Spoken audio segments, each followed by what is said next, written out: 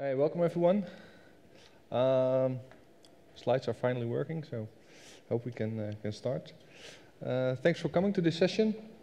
It's about automating uh, a big data platform using um, uh, using Jenkins, um, and I'm going to tell you about the past, present, and future about the big data platform at uh, at Sanoma, um, and obviously the way that Jenkins ties in into serving the elephant. So uh, about me, I'm uh, Sander Kieft. I'm a manager of core services at, uh, at Sanoma. Um, I'm responsible for like all common components um, that, um, that we run, uh, under which the, the big data platform. Uh, Sanoma is a publishing company based in the Netherlands and Finland. Uh, we publish about 100 magazines, the two major newspapers in, uh, in Finland. Uh, have five television stations in both the Netherlands and, and Finland, run about 200 websites and about 100 mobile applications. And especially the last two generate a lot of data, a lot of advertising data, a lot of user data, uh, a lot of uh, web analytics, uh, behavioral targeting. We use our big data platform to, um, to refine that. So we started, and when we started back in 2008, all those systems, so the web analytics system, the advertising system, all in itself produced enough in, uh, actionable insights for us to, to use. Um, and we didn't really have a, a BI uh, heritage. Uh, the, the, data source were already too big to really use in a low-level form, and we combined the main metrics in like Excel and, and used those for, for reporting. But in, um, and we were playing around doing some ad hoc analysis on, on log files with, um, with Hadoop of, well, it's interesting technology, but well, definitely not fit for, uh, for production yet. Uh, and then early 2009, uh, Hive came. Um, and, who of you is familiar with, with big data? Okay. Who's familiar with, with Hadoop? Okay. Uh, who's familiar with Hive? So still okay. Um, so uh, Hive is like a SQL layer on top of Hadoop. So it really makes uh, accessing the data on Hadoop much easier and um, fit for a much broader audience. Uh, and in 2010, we, we, got the question for uh, building a product that we felt would really benefit from having um, Hadoop as a platform powering, uh, uh powering it.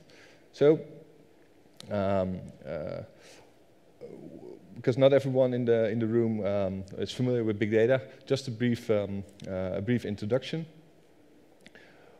With that um, uh, that project we had, we felt that we could model like the data like you do with a BI project and create um, the, um, uh, the, reports tailored for, uh, for the user. But that means not throwing away some of the, uh, of the data.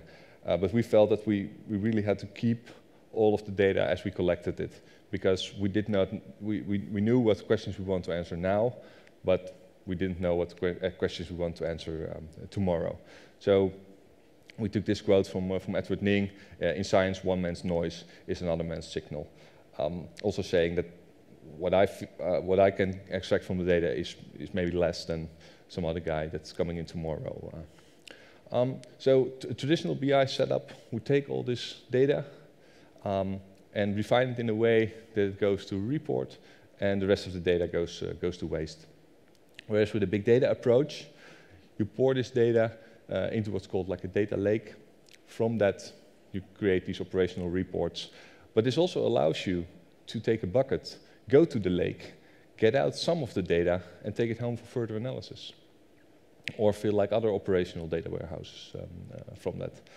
Um, and when is data big data? So from the marketing uh, machines of the, the, big companies came like the four V's uh, about volume, variety, and velocity. So volume meaning like the sheer terabytes or petabytes of data you're, you're using.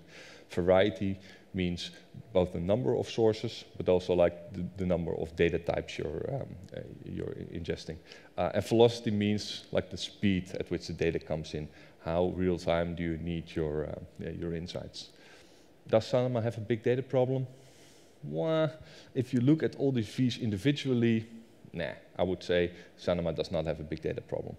But the combination of all these factors and the fact that we want to adhere to, uh, to Edward Ng um, uh, meant that we said, okay, we'll, we'll take this, this step, we'll move in, um, uh, towards the, the, big data directory, uh, the direction. And these fees got, uh, got added uh, as the marketing machines of, of the big companies um, also dived into to big data. What's the definition, or at least the definition we use? uh, is structured and unstructured data which contains valuable information that cannot be processed by a traditional um, uh, RDBMS or at least not within like acceptable costs. Obviously, you can go to Oracle and say, hey, I want this exascale um, cluster for doing my analytics. And they say, yeah, well, no problem. We can process the, the 100 terabytes for you at this cost. But usually that's like more than you're willing to, uh, to pay, or at least for us where like all the individual line items that we collect represent like a really uh, low value. When you're a bank or like a retailer, like every line represents a, a product that someone buys, which is like 100 euros. For us, a banner impression is like 0.111, uh, dot one one one, uh, dot, oh is a, a thousandth of, um, uh, of, a, of a euro. Um, so, talking about the, the variety and the unstructured, um, uh, structured data being a relational database and like uh, strong integrity, uh, semi-structured meaning like log files, and CSV, and unstructured meaning like really documents um, and, uh, uh, and images. Where we handle like 80% for us is like semi-structured. It's like log files and, and CSV. 10% is, is, structured and 10% is, um, is unstructured. and I feel that Hadoop is really, really good in processing like the, the, the, the semi-structured. Also, one of the nice things compared to a database is that um, uh, with Hadoop and with big data, um, you use schema on read instead of schema on write. So instead of having this really strong schema and the data that comes in, you're mapping against that schema before it's persisted on disk, you now pour the data on the disk and apply the, the schema when you read the data, which gives you much more opportunities to evolve like your schema or like the, uh, the data you extract from, um, uh, from the log. Um, and it gives you the opportunity of scalability. Whereas with your relational database, you usually have to buy a bigger box, a bigger SAN, um, or uh, an, uh, an, appliance like, like Teradata or, uh, or, Oracle. So it's scale out. Whereas with Hadoop, um, you have local storage, and that's part of the, the power of the system. So you just add machines as your, your data grows, which adds both storing capacity, but also um, uh, processing. Uh, and you just start adding these boxes. So uh, cost will grow uh, linearly and not exponentially with the, the scale-out scenario. Um, and Hadoop itself, it came from two papers published by, uh, by uh, Google, the, the GFS paper and the MapReduce paper, GFS describing their global file system or Google file system for, um, uh, for generating the, uh, the web index and MapReduce as a programming paradigm or like an algorithm. On top of that, for um, doing the distributed work and leveraging all these uh, separate machines. It's, a, it's Java-based, uh, and uh, nowadays there's also more, um, uh, more programming paradigms than just MapReduce. Um, but so Hadoop provides HDFS and, and MapReduce. Um, and like I said, Hive provides like an SQL layer on top of that, giving easy access to the, uh, to the data. Um, and when we want to build this, we not only wanted something that scaled technically, but also scaled organizationally. So we wanted a way for uh, business analysts and for data scientists to be able to help themselves to have like a certain degree of, um, of self-service or being based in Amsterdam, we also consider this to be uh, uh, self-service because yeah, you have to get these enlightening um, ideas from, uh, from the data. Um, and when you look at the chain of, um, of data, so from the source until the, like the insight, we started out with like self-service only on like the last two steps. So allowing the business analysts to create the reports to, uh, to facilitate their, um, uh, their user base. Um, and we would do um, uh, the rest. So we started out building this. We did a selection. Uh, you started using QlikView as a front-end product, so that's uh, in-memory analytics and, and, reporting. Used Hadoop for the storage and, and Hive for the um, uh, as the data warehouse.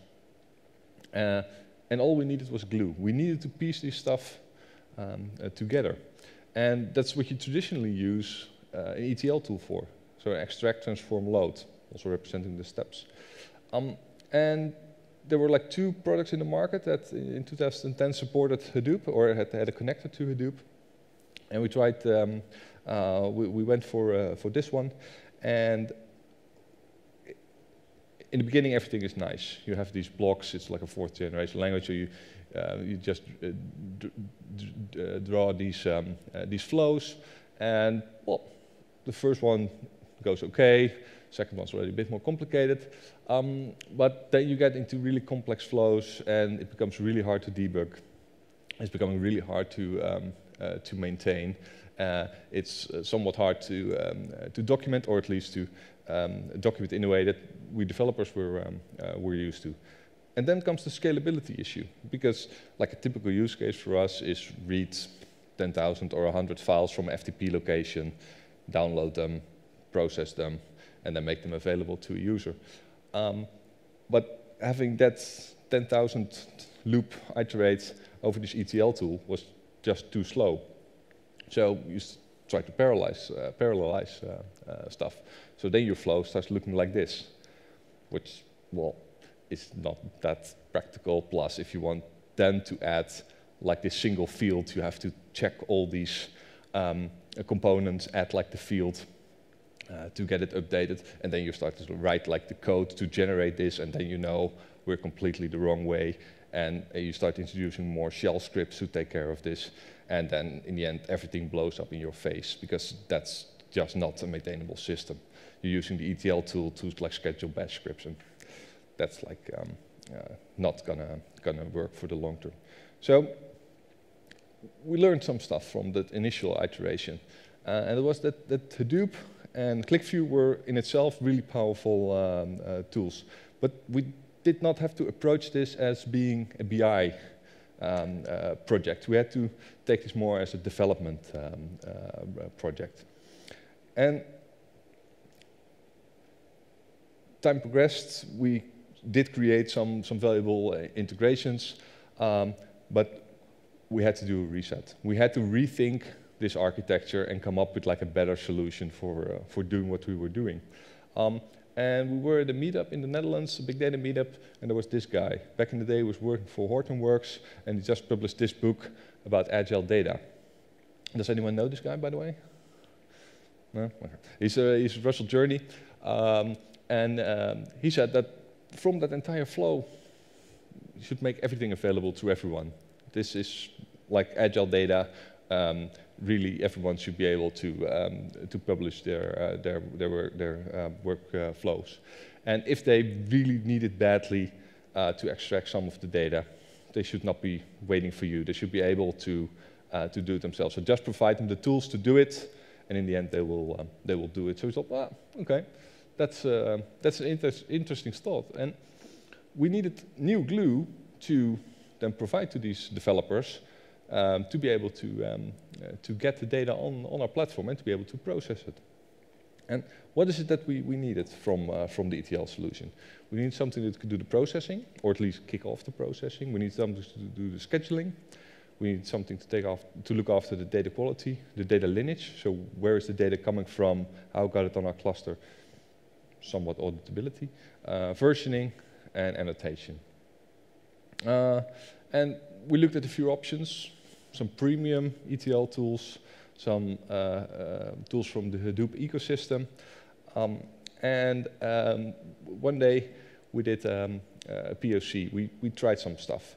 And we started with this, one of the bash scripts we, um, uh, we used. And um, this was really the fastest way from development time uh, to get the data on the, uh, on the cluster. And it only had one limit, uh, one small problem, and there was this bit of code. This is the loop. The, the loop just fell off the, the, the screen, um, which iterates over those 10,000 files and then does three commands, three Hadoop commands. It creates a directory, it moves the data to Hadoop, uh, and then does an uh, in-place uh, move, which is atomic operation, whereas the put is, uh, is streaming. Um, but those three Hadoop commands all spin up a JVM, all take like 200 milliseconds. So still iterating this loop 10,000 times take, takes too much takes too much time. So we did a slight alteration of, um, of this code, writing it in, a, in a, another script language, but which gave us direct access to running on, um, uh, or gave us direct access to the, the Java APIs from, uh, from Hadoop. Does anyone recognize this? No Python developers in the room? It walks like Python, talks like Python, but is actually Jython. It's uh, Python, but runs on the, um, uh, on the JVM. So it gives you the expressiveness of, um, uh, of Python, but it gives you all the power of the, the, the Java APIs, and you can just call on uh, the, the Java APIs from, uh, from Hadoop, so do all the HDFS and, uh, and MapReduce operations you, you need. Um, so we got the processing part. Now we needed something for scheduling. And we were already using Jenkins. We were using it to build the MapReduce code, which like runs on the cluster. Um, and um, this provided a lot of the uh, capabilities we needed. There's like some dependency management, uh, there's the monitoring, uh, you can look back at like the jobs, uh, it scales to multiple nodes, it has like an API. We have this nice uh, status monitor on, um, uh, on our wall. It integrates with the, um, the code repository. So this solved like a lot of our um, a lot of our issues. So looking back at like the checklist, Bash and Jython for um, uh, for the processing, using Jenkins for the scheduling, uh, version control, using Mercurial, moving to Stash, uh, and annotation is now just writing sane code and uh, documenting. Um, so uh, even better than uh, having these four um, 4G flows. Data lineage and data quality, we still have to look into. Um, it's not a major issue for us. Um, plus, going for the commercial ETL tools, being able to use them at scale, also like took out the advantage of their uh, data quality and data lineage capabilities. So, how do our processes look? We try to use these steps, these stages of moving the data forward. Um, getting from source, we move everything to the Hadoop file system, so to Hadoop itself. And then we use the power of Hadoop, so the parallel processing there, to then transform it um, into a Hive staging and in the end into Hive, so into the data warehouse. And then it's accessible to, um, uh, to the data analysts. Uh, the data scientists can already start using it when the source data is available on the, um, uh, on the cluster. So Jenkins kicks off the job, the Jython job, pulls in the data, moves the data to HDFS. Then we trigger from uh, Jenkins the job to run to process the data um, and, uh, and make it available in, in Hive. And then the last step, the load, we trigger a load to QlikView. QlikView loads the data either from Hive or we push the files um, uh, there. So did this give us the self-service we were looking for?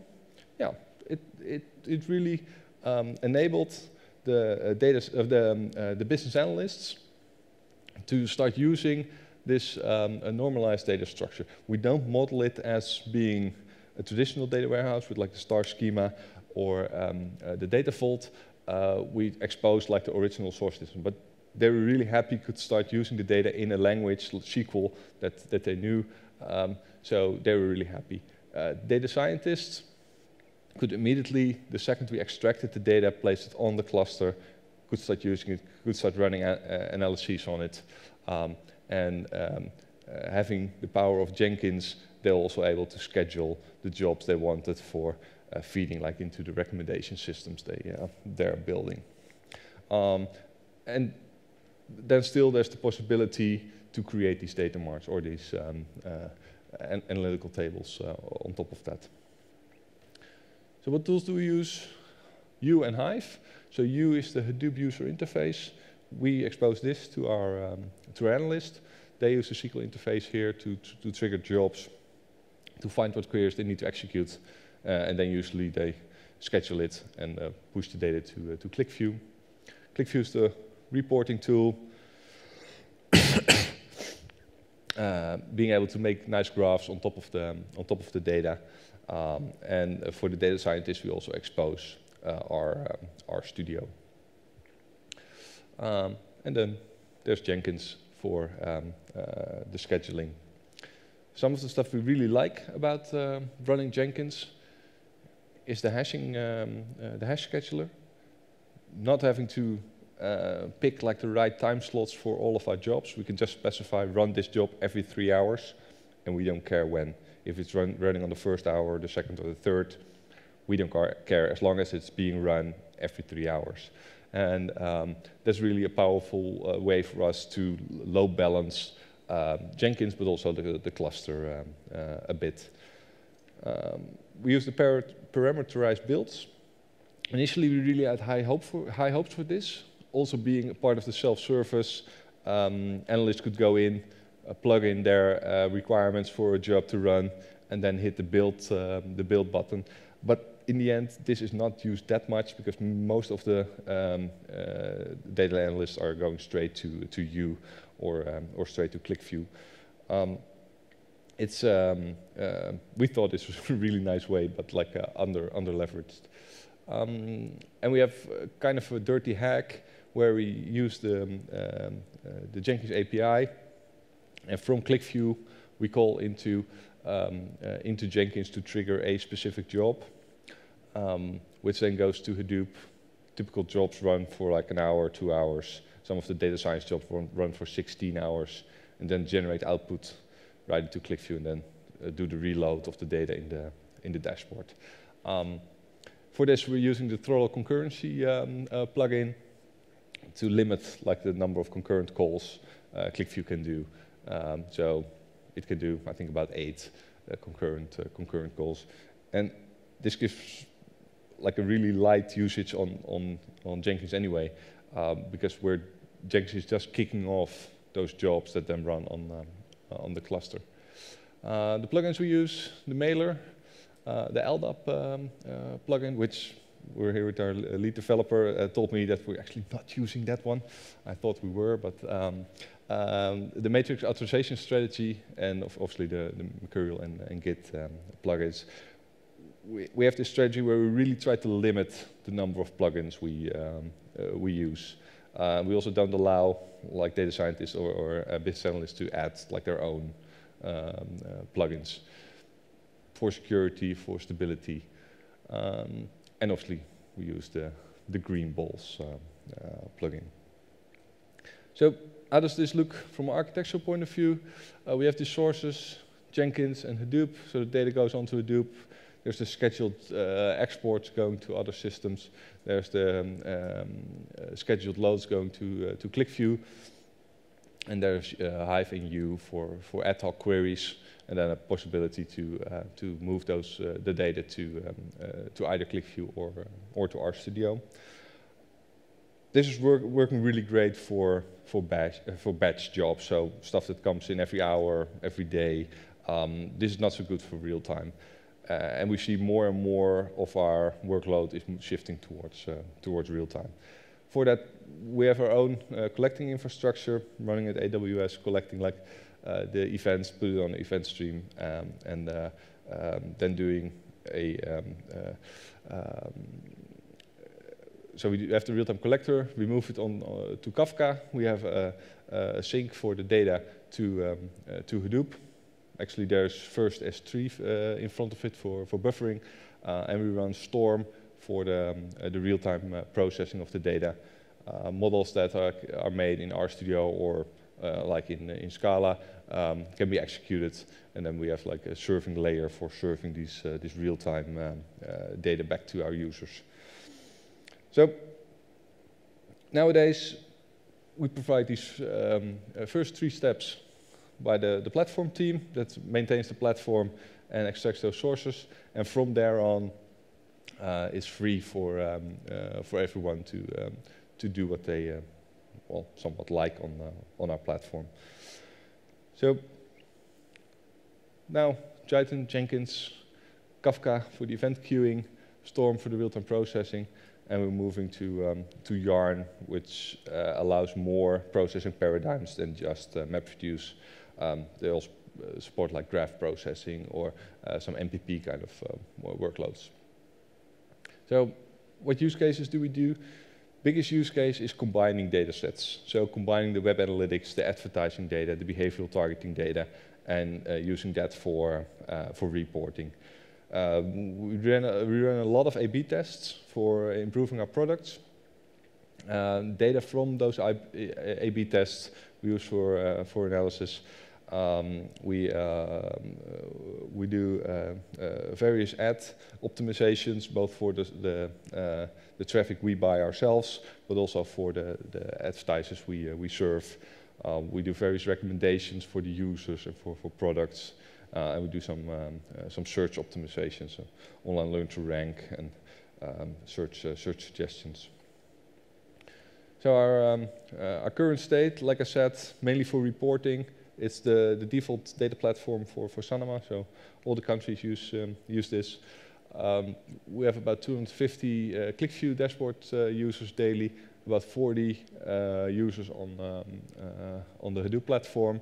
Um, I think already more than 50 uh, data sources, um, resulting in like more than 150 uh, data, um, data imports and about 400 tables in, in our data warehouse doing this with a pretty small team, or at least I think pretty small team.